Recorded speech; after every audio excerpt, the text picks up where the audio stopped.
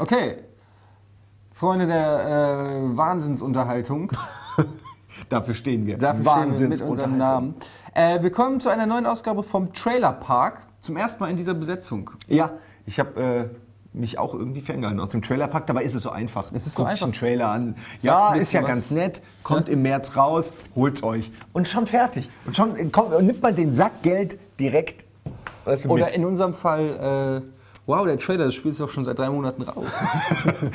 jetzt noch nicht, aber in dem Moment, wenn In das Video Moment, wo kommt, dann seht, ja. ja. Ja. Nein. wir haben natürlich top aktuelle Trailer und wir fangen auch an mit einem Trailer zu einem Spiel, von dem ich noch nie gehört habe. Deshalb sehr gespannt bin auf den Trailer. Er nennt sich äh, Urban Trail Freestyle. Mal gucken, was sich dahinter verbirgt.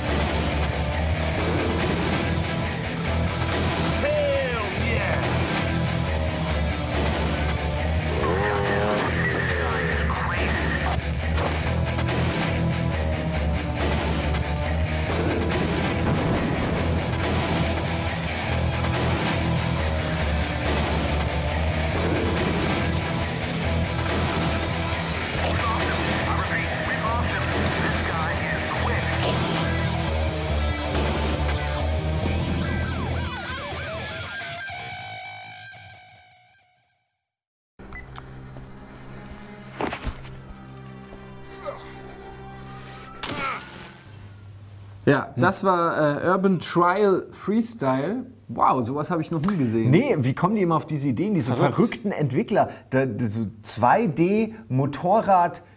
Äh, Parcours. Stuntspiel, Parcours, mit noch so im Hintergrund passiert was. Das ist crazy. Und dann auch noch Trial im Namen. Wow, das ist. Äh, Ja, HD hat noch gefehlt. HD hat noch die, gefehlt, Die zwei vielleicht. Oder wir machen einfach, wir bringen einfach den dritten Teil raus zu einem Spiel, das wir gar nicht gemacht haben. Ja, ähm, Schmeil. Schmeil. Schmeils. HD. Urban Schmiles Freestyle. ja, nee, ähm, also ich sag mal so, für alle, die die äh, 100 Maps von Trials HD und Trials HD 2 ähm, schon durch haben, auf Platz 1 überall, so wie wir, die haben jetzt neues Futter. Ja. Von einem anderen Publisher. Ja, sehr viel mehr kann man da nicht sagen. Es ist halt ein, ein Trials-Clone par excellence. Ob er gut ist oder nicht, äh, weiß man nicht, weil wir es noch nicht gespielt haben, kann man anhand des Trailers nicht sagen. Weil ich meine, bei Trials kommt es auf das Feeling an. Ne? Das Ja, ist das bei Trials halt schon sehr perfekt. Ich weiß nicht, ob es da noch einen Ableger bedarf. Nee, das ist, hast recht, Millimeterarbeit. Das ist so wie äh, die Moves bei Prügelspielen. Die Ja. gehen entweder von der Hand oder sie gehen halt nicht. Und das, damit steht und fällt das ganze Spiel. Und so wird es hier mit der, mit der Steuerung der beiden Reifen sein. Mich wundert es ein bisschen, ich meine, es ist nicht verboten, aber es ist schon sehr nah am. Also, es sieht ja wirklich exakt aus. Es ist schon die auf der Trials. dreist geklaut Skala ist es schon auf, auf, auf eine 11. Ja. Also- die 11 auf der Klaus-Skala. Ja. Urban Und die, Trials. die Freestyle. Skala geht nur bis 5. okay, wir machen weiter. Werden wir mit- spielen, gell? Werden wir spielen und wir darin spielen, ruhen. Ja, total, wie immer in solchen Spielen. Sehr gut. wir machen weiter mit The Elder Scrolls Online. Davon habe ich schon mal gehört. Ich habe nie Elder Scrolls gespielt. Du, bist Nee, du hast noch nie ein Elder ich hab, Scrolls gespielt? Nein, wirklich, ich habe Morrowind nicht gespielt. Ich habe auch hier äh, Oblivion. Skyrim, Oblivion, ich, alles nicht gespielt. Nicht gespielt. Äh, Freunde von mir und Freundinnen von mir, Ex-Freundinnen, haben das gespielt und dadurch habe ich dann immer recht viel, man sieht ja, man guckt da ja stundenlang bei zu, wie jemand seine Wohnung einrichtet und so. Ähm, außer Fallout habe ich nichts in die Richtung gespielt. Und hat aber. Fallout hat dir gefallen. Ja, Fallout fand ich super. Aber ich glaube, ich mag dieses Ritter, Dämonen, Drachen, Schwert. Das ist immer derselbe Kram. Ochs. Einzige, okay, Riesenspinnen. Also bei Riesenspinnen sage ich, da habe ich richtig Angst vor. Die kann ich immer, da fürchte ich mich immer vor. Aber irgendwelche, was waren das? Lizard, so, was waren da für Gegner? Skelette, gell? Skelette, ja, Drachen hauptsächlich jetzt bei Skyrim. Ja. Ja, äh, ich kann schon verstehen, dieses Fantasy-Universum ist natürlich ein bisschen abgelutscht. Äh, ausgelutscht? Ab- Abgelutscht. Würdest du die ablutschen? Ich würde sie Ein ablutschen. Ich würde einen Ork ablutschen. Ich würde eine, eine, eine wunderschöne Orkfrau würde ich ablutschen. Ja. Was für Orks wunderschön ist, ist für dich wahrscheinlich. Ist immer noch. Ah, wie sie wunderschön, wie sie aussehen mit diesen Eiterbeuteln. sie sind genau as asynchron. Es ist wunderschön. Ja. Ist, es ist, ah, egal. äh, wir driften ab. Wir gucken jetzt äh, Nein, wir driften The Elder. Scrolls äh, Online.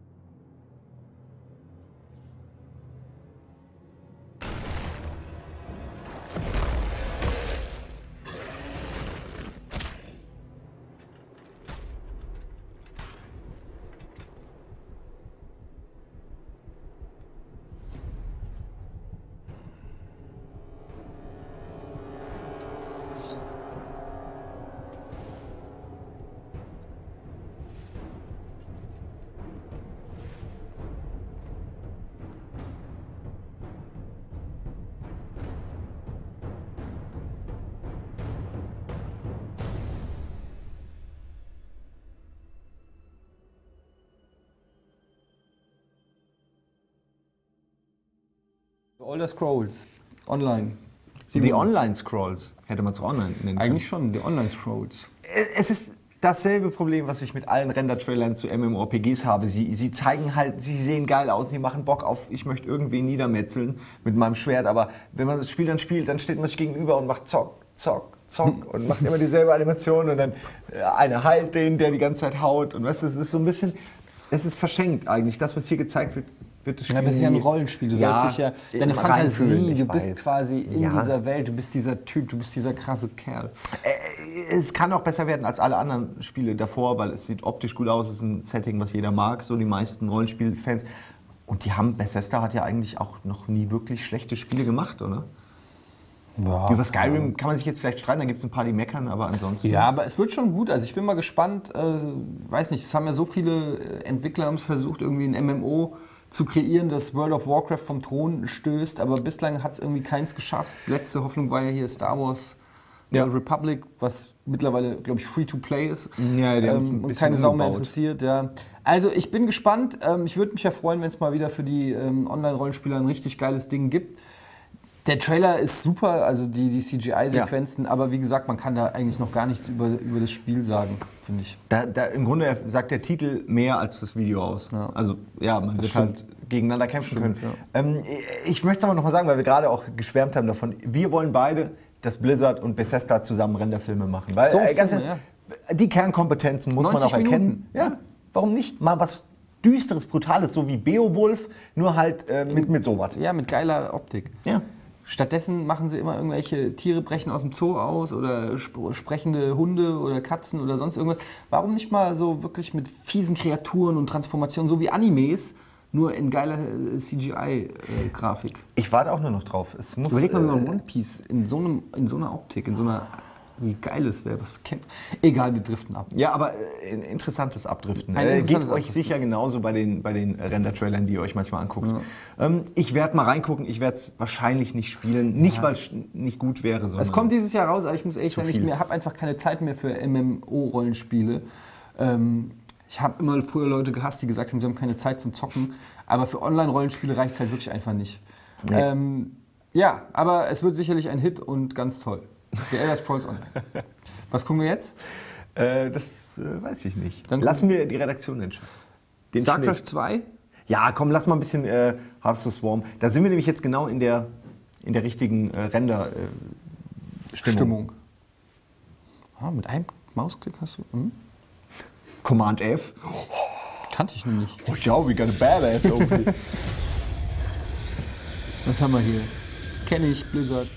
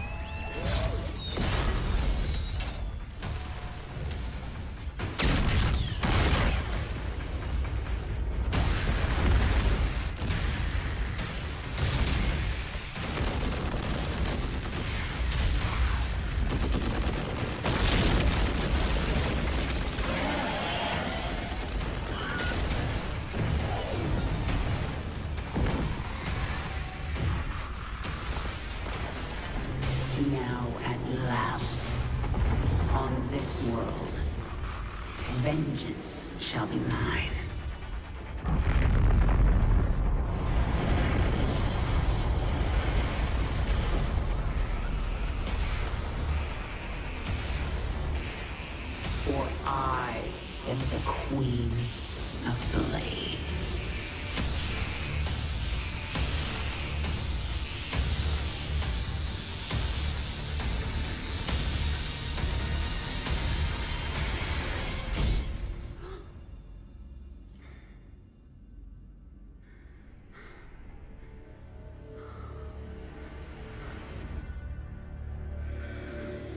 Cliffhanger. Gerade als sie davon geträumt hatte, die Menschheit zu vernichten, wird sie aus diesem wunderschönen Traum gerissen. StarCraft 2, Heart of Swarm. Also ich muss sagen, geil. Ich hätte richtig Ja. Bock auf einen StarCraft-Film. Äh, wir haben das gerade beschlossen, es muss ihn einfach geben, weil wenn man mal überlegt, sowas wie Pacific Rim, ja, gibt es große Gegner und große Mechs, ist ja ganz nett, aber hier hast du halt alles. Du hast dieses riesige lebende Schiff über der Stadt fliegen, ja, und du hast aber auch den Kampf im Kleinen, ja, und du hast sogar die ganz kleinen fieseligen Zergs, die dich einfach nur kratzen. Ähm, das ist doch geil. Warum macht das keiner? Warum? Die wissen doch selbst, dass das die Leute wollen. Ey, keine Ahnung, ich verstehe es auch nicht. Aber vielleicht haben sie Schiss, dass es einfach im Kino floppen würde oder so. Weißt du, wer es zerstört hat für alle? Final Fantasy. Final Fantasy mit Square.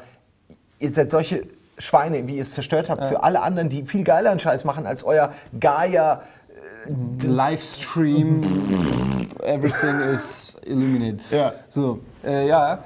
Ey, habe ich Bock drauf. Habe ich jetzt tatsächlich, macht dieser äh, Trailer Bock auf den Singleplayer von StarCraft, wenn man irgendwie Ja. Lust hat, die Story ein bisschen zu spielen und so ganz entspannt ähm, ja, diese Mission zu machen und nicht immer nur E-Sports, Power und Druck und, und, und Competition. Es ist auch eher für Leute wie uns, die auf diesen ganzen Druck keinen Bock mehr haben, weil sie sich nicht mehr beweisen müssen. Müssen. Äh, Nicht wichtiger wollen, ne? Unterschied zu wollen und Ja. müssen, ja, ist ähm, ja auch die, die Single-Story zu genießen, weil die hat tatsächlich, obwohl sie oft im Spiel ein bisschen beiläufig präsentiert wird, hat die schon was drauf. Also als Story allein ist die eigentlich cool, würde direkt den Film hergeben, meiner Mhm. Ansicht nach.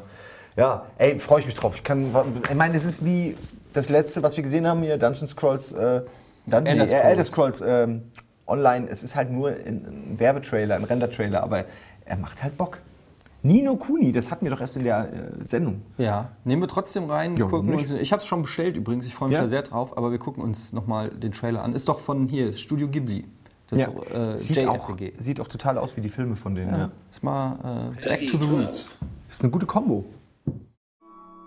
Oliver, why did you set out on this journey in the first place? Well, my mom died, but there's a way to help her here in this world. You must be the one the legends say will save our world. Another world? Your world and my world are connected. The great sage Alicia tried to take on the Dark One, but his power was too much for her. But how does that help us save my mom? If you could free Alicia, it might bring your mom back. I'll do it. How do we get to your world? Magic.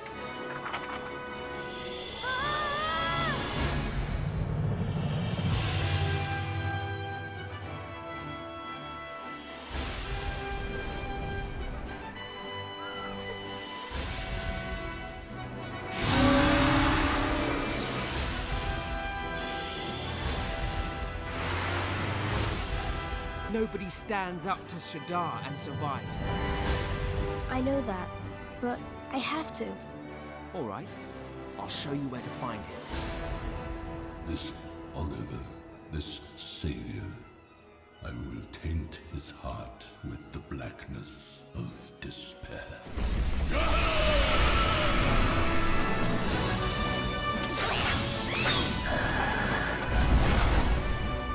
Aha, gotcha!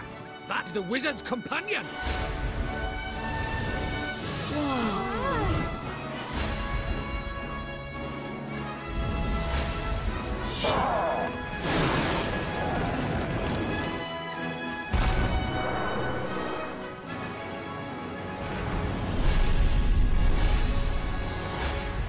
I've gotta go. There are people who need me. Und jetzt schon mehr gezaubert als Harry Potter. In sieben Filmen. Das ist ein schöner Satz. Im, Zau Im Trailer schon mehr gezaubert als Harry Potter in allen Filmen. Le Levante Leviri. Nein, Wingardium Leviosa meinst du? Ach, was Zum das? Schweben. Ja, Lega, wie heißt Oh Mann, Wingardium Leviosa oder Leviosa. Lingardium Wingardium, glaube ich. Ach Gott. Und selbst jetzt gibt es einen Klugscheißer, der sagt, nee, ey, das wird doch ganz anders geschrieben. heißt Wingardium Leviosa, ihr wisst Ja. gar nichts. Ja, So. genau so. Nino Ey, Kuni. fantastisch. Ja, Richtig, macht toll. richtig Bock. Und im Gegensatz zu den anderen Trailern sieht man noch was vom Spiel und dass das den ähnlichen Stil auch hat wie äh, Studio Ghibli-Filme. Total, ey, es ist Wahnsinn. eine ganz tolle Welt, es ist ganz schön. Der Fabian hat es ja schon durchgespielt, schwärmt davon. Alle, die ich kenne, die irgendwie äh, schon haben. Man kann das übrigens über den US PlayStation Store, äh, kann man es jetzt schon zocken. Also man müsste sich nur einen Account beim US PlayStation Store machen und kann es dann für 50 Dollar einfach runterladen. Hat mal keine Verpackung oder so, aber Pepper, das zum Beispiel, unser ehemaliger Kollege Pepper hat das so gemacht, weil er nicht warten wollte bis zum Release. So kenne ich ihn. Ähm, ich habe es bestellt. Ich hatte sogar, es kommt eine Wizard Edition, das ist so ein riesen Special Edition, ähm, die super geil ist. Und ich hatte die vorbestellt und dann habe ich sie wieder abbestellt, weil ich zu geizig war und gedacht habe, ach komm, scheißegal, du willst eh nur das Spiel zocken, die 30 Euro sparste. Stellt sich heraus, eine Woche später komplett weltweit Wizard Edition vergriffen und über 200 Dollar wert. Ja, das ist immer Und ich hatte ein Exemplar, ich habe es freiwillig abgegeben. Äh, ärgerlich, ja. Egal. Nino Kuni. Ähm, ich habe jetzt gerade, während wir den Trailer uns angeschaut haben, habe ich für mich beschlossen, dass ich es mir holen werde.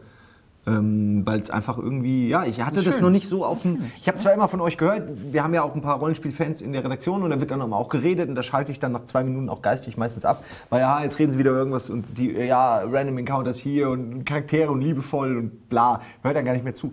Aber das hier hat mich jetzt überzeugt. Mehr als du und Fabian in 15 Minuten Dialog. Redet nicht, zeigt mir nur Bilder. Ja. ja, nee, es hat einfach einen ganz tollen Charme. Und irgendwie dieses, dieses Studio Ghibli, ähm, Hayao Miyazaki-Feeling, es kommt da irgendwie rüber. Und gleichzeitig ist es aber auch so schön, das ist ja von den Dragon Quest 8 Leuten, äh, Level 5. Und Dragon Quest 8 auf der PlayStation 2 ist eines der geilsten Rollenspiele, weil es so eine, das ist so. Äh, Oldschool, das ist so wie die frühen 16-Bit-Spiele, nur in zeitgemäßer Verpackung. Also, aber so richtig schön JRPG, wie ich damals es geliebt habe. Ich hoffe, ich bin immer noch empfänglich dafür. Das ist die große Frage, Und der Zyniker hat es nicht zerstört. genau, der Zyniker. Ob der? Zyniker in dir damit zufrieden sein wird.